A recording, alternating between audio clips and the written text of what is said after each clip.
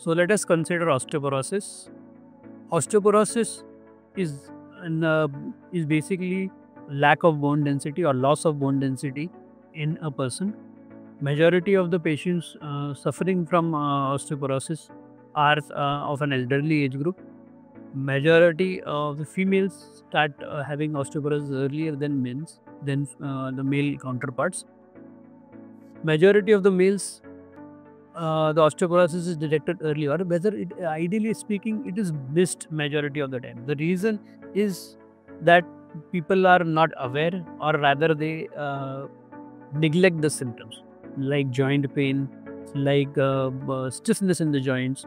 So these pa- pa- patients normally uh, neglect these symptoms and that is why they never consider that they might be having osteoporosis and they have a, uh, a false sense of well-being smokers are uh, definitely uh, at a high risk to osteoporosis.